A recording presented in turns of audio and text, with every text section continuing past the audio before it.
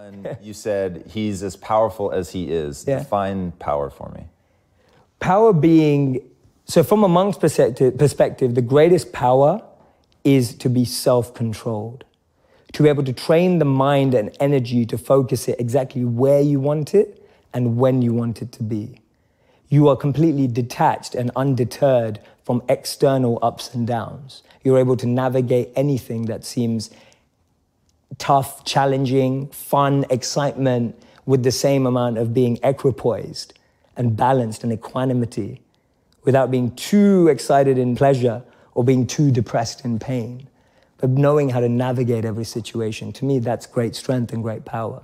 Um, I heard in one of your talks you were saying that if you look at um, a, a literal lifeline, a heartbeat, Yeah. for instance, you know, it's it's up and it's down, and people have this sense that something like enlightenment would be that um, the equanimity forever Yeah. and just an even keel. And you said, but what what does that resemble? It resembles a flat line when you die. Correct. So, what is it like? What I love about you is you sort of went into the wilderness of being a monk, but you've brought it back to the real world.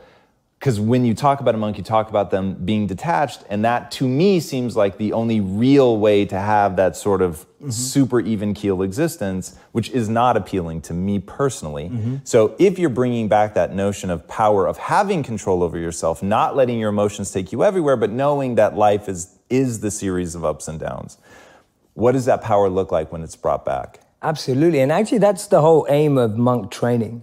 It's, it's more like a training system than it is a lifelong commitment. It is bringing that mindset into the real world where you get to test it. Now, I got to do that for real when I left being a monk around five years ago.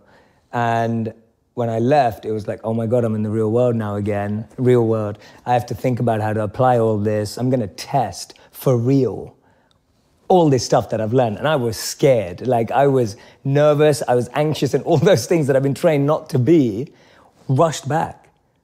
Because for the first time in my life, I had to really put it into practice. And I love that feeling. I'm so glad that I had to do that. So for me, actually, the mindset is completely trainable to bring it into the real world. That's, that's what I'm trying to do. And, and what it allows you to do is it allows you to gain clarity and perspective when you need it, because you know when you can just take a bird's eye view from something. You know when you need to get close into something. You know when you need to pull back from something.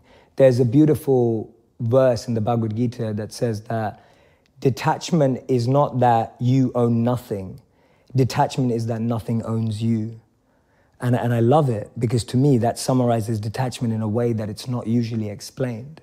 Usually, people see detachment as being away from everything. Mm. Actually, the greatest detachment is being close to everything and not letting it consume and own you.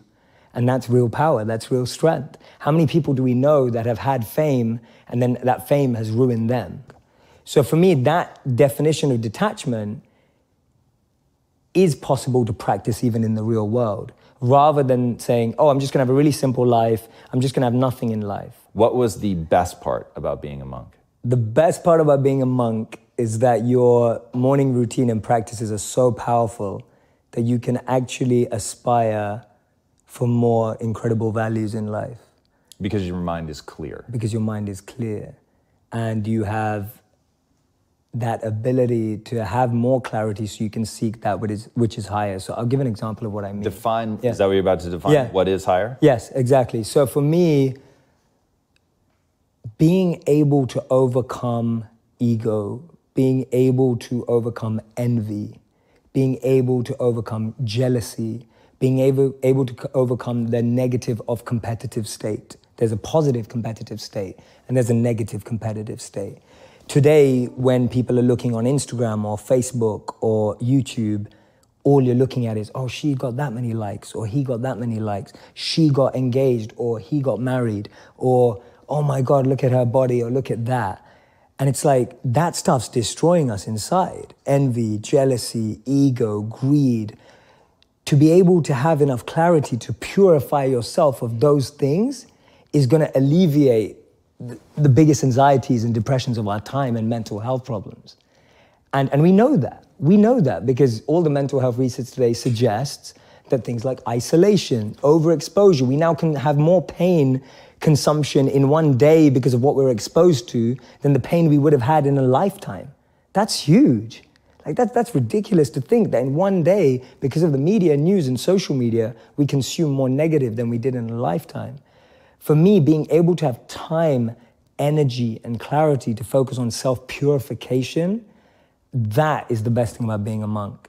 Because you have that time, reflection, and a process and an environment that only allows you to become more purified of those things. So if I was the interviewer that I wanted to be.